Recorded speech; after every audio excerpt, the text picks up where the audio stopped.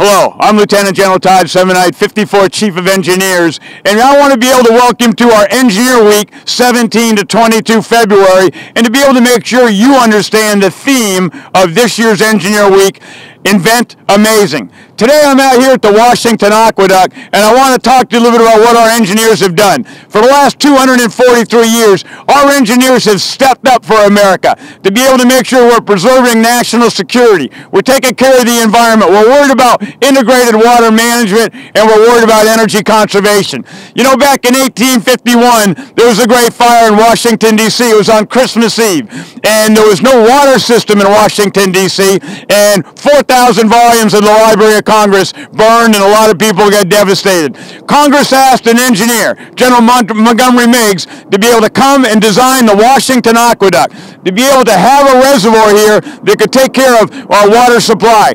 Gravity followed from nine miles up. The water came in and then processed here and, and grew and flew down to Washington, D.C. No electricity, all done by gravity. And at the same time Meigs designed that, he was also worried about rebuilding the House chamber, the Senate chamber, and the new Capitol dome. That's a mark of an engineer who stepped up when the nation called, had a lot on his plate, but by inventing amazing results, he was able to make Washington, D.C. and the uh, United States a better place.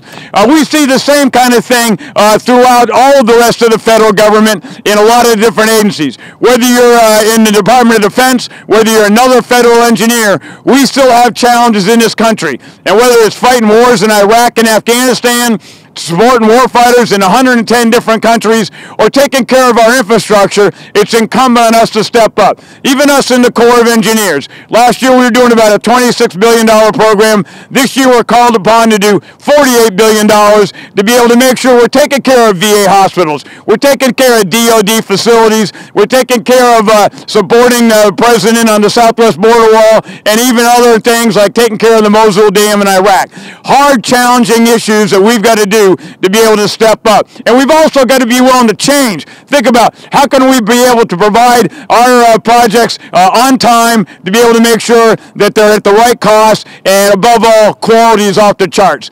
So at the end of the day, whether you're back to where Meigs was several hundred years ago or whether you're uh, an engineer out there, I would challenge you, what are we doing to broaden our own profession? We have a STEM shortage in the United States. It's incumbent on all of us engineers to be able to reach out to people in grade school and high schools and encourage them to follow in our footsteps and to follow our profession because America does need great engineers. And for those of you that are leaders, what are you doing to challenge your subordinates to join professional organizations, to work on their skill craft, continue to be able to have uh, the right type of attributes to what they need to do to step up?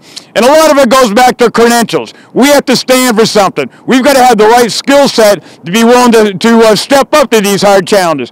Just today, I signed 150 letters to some of my Corps of Engineer, younger engineers who got their professional engineer license. Not because they had to do it, uh, not because it's mandatory, because they knew the only way they're going to help solve the nation's challenges is to have the right skills to be able to do it. So I would just tell you, whether you're Meigs or whether you're a regular federal employee and a great engineer out there, we've got to continue to engineer solutions for the nation's toughest challenges. We did it years ago. We know we can do it in the future, but we've got to have you on the team and the rest of the team be willing to step and take care of this great country. So I want you to have a great engineer week. It's a super theme, and all of us have got to be able to figure out how can we truly invent the amazing. So from the Washington uh, Aqueduct, General Semonite, have a great week.